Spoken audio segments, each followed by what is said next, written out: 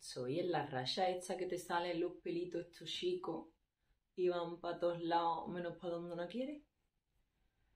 Pues así estoy.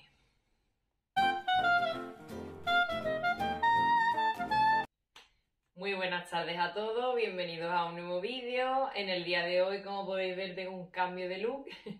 Quería donar la, la, trenza desde hace tiempo, así que bueno, ya tenía el pelo bastante larguito, ya me he cortado la trenza, ya de camino pues me he hecho unas mechitas. Y bueno, un cambio de look nunca viene mal, ¿verdad?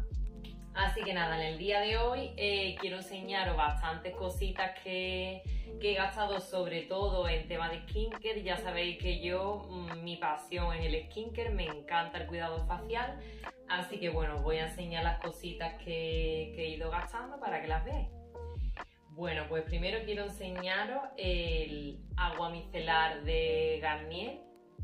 Eh, esta es la que trae el, aceitito para mí es mi agua micelar preferida porque es que mmm, desmaquilla de maravilla.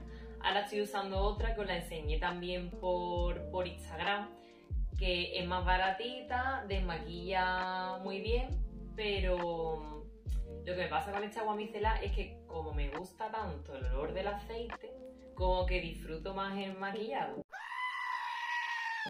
Entonces, bueno, la he gastado y aunque tengo ahí la otra y tengo reposición, yo creo que voy a acabar mm, por volver a comprarme mm, esta de Garnier porque es que ya digo que, es que me encanta el olor.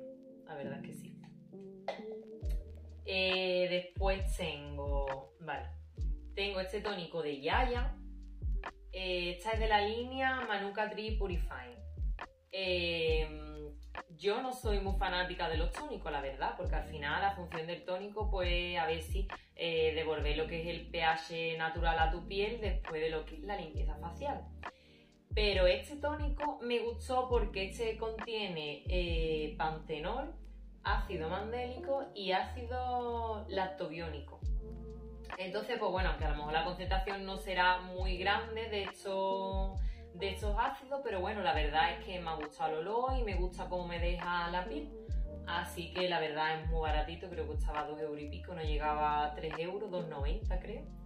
Así que este sí tengo intención de volver porque la verdad es que me ha gustado mucho.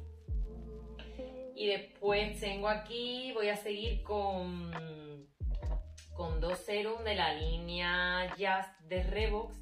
Para los que llevéis tiempo aquí siguiéndome en el canal, eh, ya sabréis de que a mí me encanta Revox. Oh, no, no, no, no, no, no, no, no, no, no. Bueno, sí. Tengo yo no sé cuántos serum tengo de Revox porque es que relación calidad-precio, esta marca es que me encanta. Eh, tengo por aquí la, la niacinamida al 10%. Para mí la niacinamida es un activo que no puede faltar en mi rutina de skincare. Yo tengo piel mixta con tendencia comedogénica, entonces para mí la niacinamida es fundamental porque la niacinamida es seborreguladora. Luego aparte también ayuda mucho con el tema de, las marquitas postinflamatorias, si te sale algún granito. Eh, después también es muy buena para el tema de las líneas de expresión. ¿A quién no le va a gustar?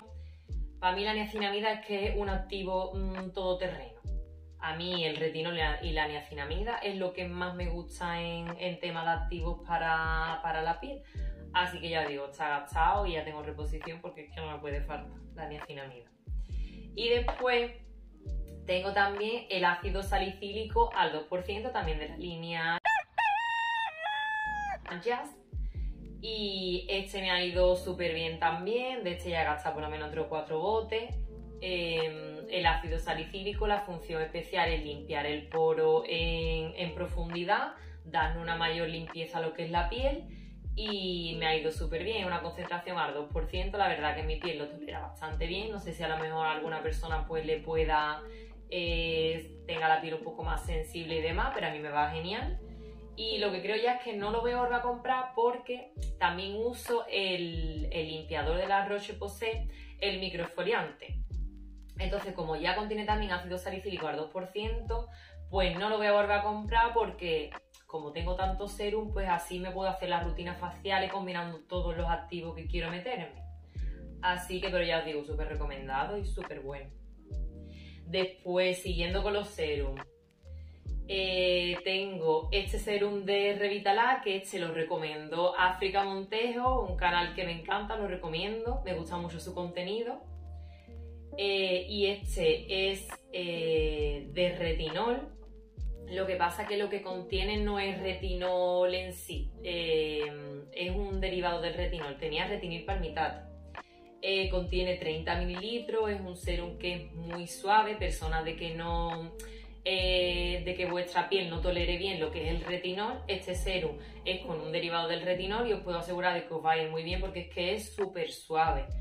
Entonces el olor también me encanta, tiene una textura así muy agradable también. Ninguno de los otros dos serums, ni este, tiene textura pegajosa. Yo los, los serums con textura pegajosa la verdad es que no, no me gustan. A nivel personal no... Aunque después te pongas la cremita y demás eso, pero no me gusta la textura pegajosa. Así que este súper bien también. Este estaba como...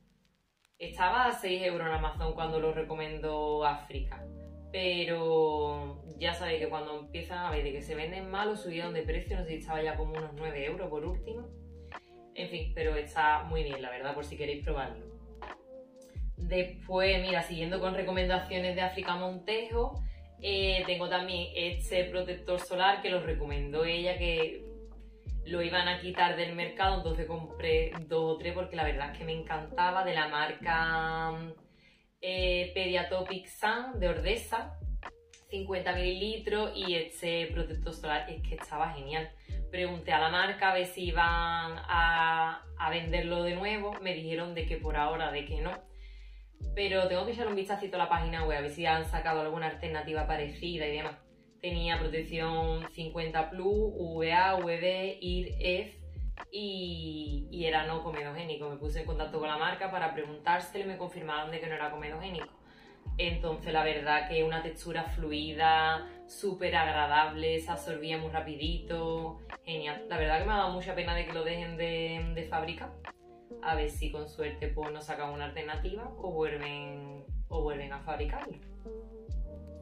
Después tengo em, máscara de pestañas de Deli Plus, la Water Resistant esta, el cupillón era así de pelito y bueno, esta máscara en verdad ni funifa.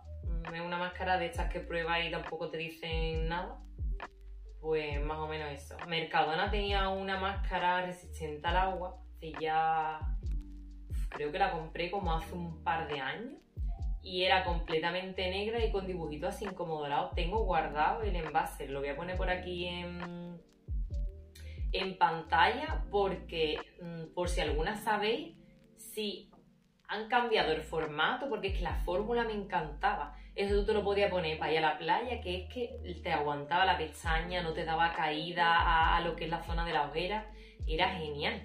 Me encantaba, no me acuerdo el laboratorio, no sé si era RNB, creo que no, que era otro, pero no me acuerdo bien. Total, lo dejaré por pantalla por si alguna sabéis si lo han cambiado de, mm, de diseño y demás, por favor, para que me lo digáis, porque es que, mm, como lo vuelvan a traer, lo compro, porque es que me encantaba esa máscara. Súper buena. Pero esta ya os digo, ni fu ni fa, no, no voy a repetir, sinceramente. Después he gastado también em, este desodorante de Resona de la línea Maximum Protection Cream. Este es el Stress Control en color verde, también lo hay en rosita y en celeste. Me lo recomendó mi amiga Raquel. Y 96 horas, antitranspirante.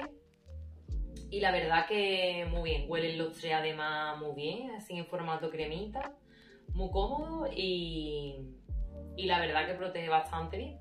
Así que mm, el precio creo que estaba rondando unos 3 euros y pico o algo así, la verdad. Pero está muy bien, me ha gustado.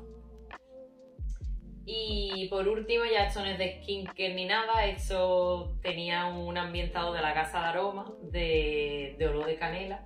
Me encantan los ambientadores de la casa de los aromas eh, duran un montón, huelen súper bien y bueno, como lo he gastado, digo, mira, pues lo meto aquí en el vídeo también y se lo recomiendo a los seguidores. Así que nada, eh, estas son las cositas que tenía que, que tenía pendiente de enseñaros, comentadme si coincidí en algún producto de los que he sacado, si os usáis estas marcas Y nada, espero que os haya gustado el vídeo. Nos vemos en el próximo. Os mando muchos besitos.